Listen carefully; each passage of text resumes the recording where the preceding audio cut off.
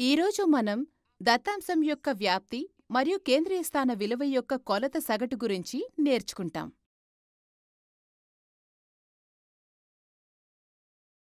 మనం ఒక బ్యాట్స్మ్యాన్ విరాట్ ప్రదర్శన ఎలా ఉందో తెలుసుకోవాలి అని అనుకుందాం.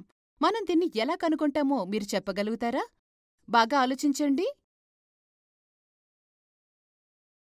రండి మేమే మీకు చెప్తాం. ఇటువంటి పరిస్థితిలో నిర్ణయాలు తీసుకోవడానికి మనకి సంఖ్యా సమాచారం అవసరం. ఇక్కడ మనం విరాట్ ఇన్నింగ్స్ యొక్క పరుగులను కనుగొనాలి. విరాట్ ఏడు ఇన్నింగ్స్ యొక్క పరుగులు ఇలా ఉన్నాయి.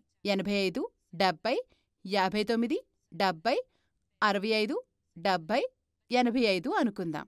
ఇటువంటి ముఖ్యమైన సంఖ్యా సమాచారాన్ని మనం దత్తాంశం అనంటాం ఇక్కడ ప్రతి సంఖ్య ఒక పరిశీలనాంశం అబ్జర్వేషన్ అంటారు. ఇక్కడ అత్యల్ప పరిశీలనాంశం యాభై తొమ్మిది మరియు అత్యధిక పరిశీలనాంశం ఎనభై ఐదు. ఒకవేళ మనం అత్యధిక పరిశీలనాంశం నుండి అత్యల్ప పరిశీలనాంశాన్ని తీసివేస్తే మనకు పరిశీలనాంశాల యొక్క వ్యాప్తి లేదా పరిధి వస్తుంది. అంటే మనకి రేంజ్ తెలుస్తుంది. ఇక్కడ విరాట్ పరుగుల వ్యాప్తి ఇజ్ ఈక్వల్ టు ఎనభై ఐదు మైనస్ యాభై తొమ్మిది ఇజ్ ఈక్వల్ టు ఇరవై ఆరు. వ్యాప్తి మనకు ఇచ్చిన దత్తాంశం యొక్క పరిధి గురించి సమాచారం ఇస్తుంది. ఉదాహరణకు ఇక్కడ దత్తాంశం యొక్క పరిధి యాభై తొమ్మిది నుంచి ఎనభై ఐదు వరకు ఉంది. అయితే మనం ఇక్కడ విరాట్ యొక్క ప్రదర్శన్ని తెలుసుకోవడానికి దత్తాంశాన్ని సేకరించాం. కాని ఈ దత్తాంశాన్ని చూడ్డం ద్వారా విరాట్ ప్రదర్శన గురించి తెలుసుకోవటం చాలా కష్టం. ఎందుకంటే అతను వేర్వేరు ఇన్నింగ్స్లో భిన్నమైన ప్రదర్శన కనబరిచాడు. అటువంటి పరిస్థితిలో ఈ పరిశీలనాంశాల సమూహాన్ని సూచించే ఒక ప్రాతినిధ్య రిప్రజెంటేషన్ మనకి చాలా అవసరం అవుతుంది. అనగా వాటి కేంద్రీయ స్థాన విలువ సెంట్రల్ టెండెన్సీని సూచించేది.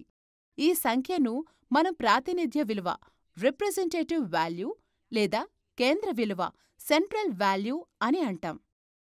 సగటు అంటే మీన్ మధ్యగతం అంటే మీడియన్ మరియు బహుళకం అంటే మోడ్ కేంద్రీయ స్థాన విలువ యొక్క ముఖ్యమైన కొలతలు. కాని అవసరానికి అనుగుణంగా వాటి ఉపయోగం ఉంటుంది.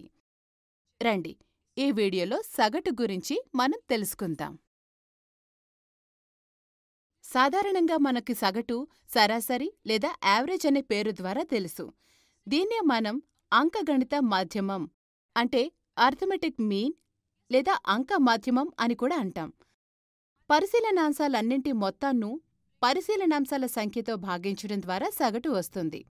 ఉదాహరణకి మనం విరాట్ పరుగుల సగటును కనుగొనాలనుకుంటే అప్పుడు మనం ఏం చేస్తామంటే సగటు ఇజ్ ఈక్వల్ టు అన్ని ఇన్నింగ్స్ల పరుగుల మొత్తం డివైడెడ్ బై ఇన్నింగ్స్ సంఖ్య ఇజ్ ఈక్వల్ టు ఐదు వందల నాలుగు డివైడెడ్ బై ఏడు ఇజ్ ఈక్వల్ టు డెబ్బై రెండు అని రాయొచ్చు. ఈ విధంగా మనం విరాట్ పరుగుల సగటు డెబ్బై రెండు అని చెప్పగలం. అంటే అతను ప్రతి ఇన్నింగ్స్లో సగటున డెబ్బై రెండు పరుగులు చేశాడు. ఇక్కడ సగటు డెబ్బై రెండు మనకు అతను ప్రతి ఇన్నింగ్స్లో సమాన పరుగులు చేసి ఉంటే అంటే అతను గనుక ప్రతి ఇన్నింగ్స్లో సగటున డెబ్బై రెండు పరుగులు చేసుంటాడు సగటు డెబ్బై రెండు అనేది అత్యల్ప పరిశీలనాంశం యాభై తొమ్మిది మరియు అత్యధిక పరిశీలనాంశం ఎనభై ఐదు మధ్య ఉన్నట్టు మనం చూడొచ్చు. ఇదే విధంగా ప్రతి సందర్భంలో సగటు అత్యల్ప పరిశీలనాంశం మరియు అత్యధిక పరిశీలనాంశాల మధ్య సంఖ్య అయి ఉంటుంది. ఈ విధంగా సగటు ఎల్లప్పుడూ దత్తాంశం వ్యాప్తిలో ఉంటుంది. ఈరోజు మనం దత్తాంశం యొక్క వ్యాప్తి మరియు కేంద్రీయ స్థాన విలువ యొక్క కొలత సగటు గురించి మనం నేర్చుకున్నాం.